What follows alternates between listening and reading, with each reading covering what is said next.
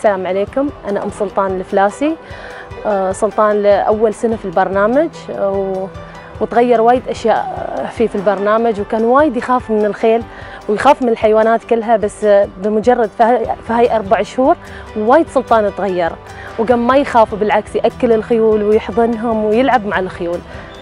أشكر هيئة تنمية المجتمع لجهودهم ما قصروا. وما قصروا في عيالنا وعلموهم ودربوهم وأتمنى كل سنة يعيدون هاي الفعالية وأتمنى أن ولدي يصير خيال.